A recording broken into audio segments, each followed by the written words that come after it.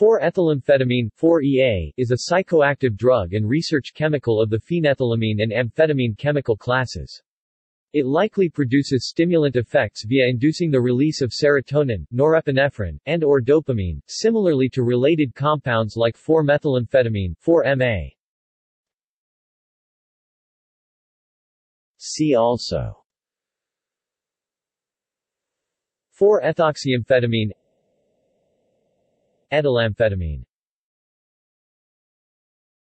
References